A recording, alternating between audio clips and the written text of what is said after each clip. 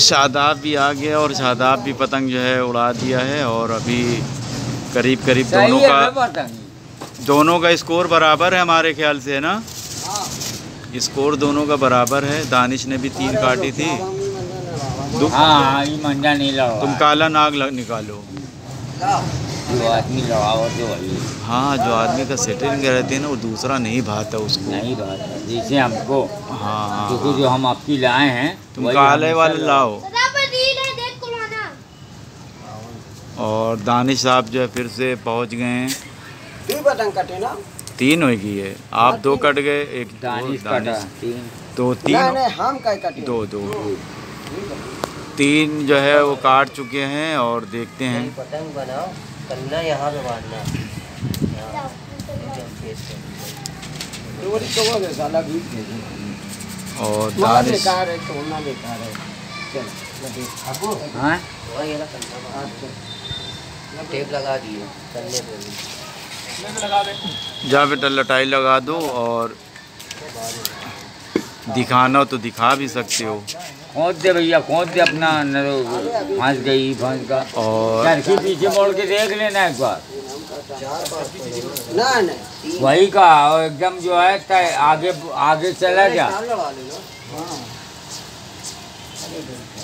और पतंग जो है दानिश की पहुँच गई है। उनको उनाए के मुँह जाएगा। वो गुड्डे हैं।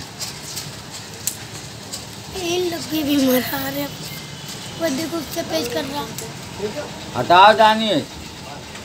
दानिश इन लोगों की हो रही है हटा लो। न कट जाइए तुम्हारा और ये पीछे से जो है जनाब गुड्डे साहब भी लड़ा रहे हैं और ये दानिश के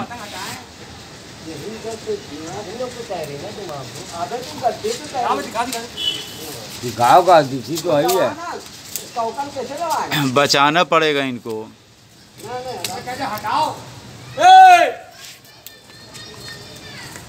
अब इधर निकाल बीच में रख रहे वो कट गई। हटा इधर बाहर कर, पहले। न। हमें और अंदर घुस जाओ, उसकी सर्दी आ जाएगी। दानिश, अंदर घुसो, अंदर। दानिश, अंदर घुसो, मैं बाहर नहीं घुसो।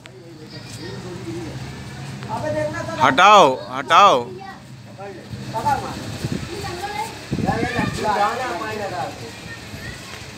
और जो है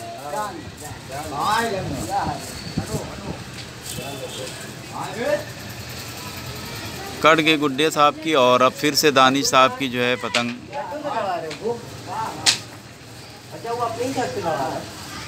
देखो, तुम्हारे में आ ना जाए शादाब तुम्हारे में पेच ना आ जाए, हटा लो। फिर से हो गए ऊपर नीचे और ये आप देख सकते हैं इनके सर के ऊपर ही जो है पतंग है दानिश साहब के और चूँकि कैमरे में तो नहीं दिख रहा है लेकिन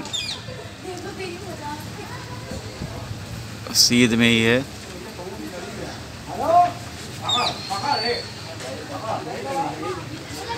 और ऊपर नीचे हो गई है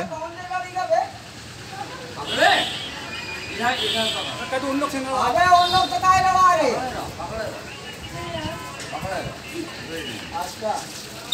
हो गई ऊपर नीचे। और गट्टू जो है ज़मीन में डुबोते हुए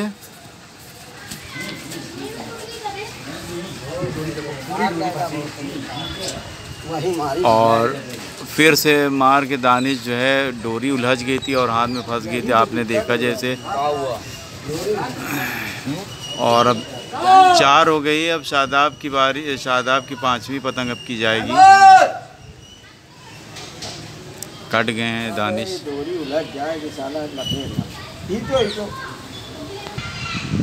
तो दानिश भी जो है कट गए।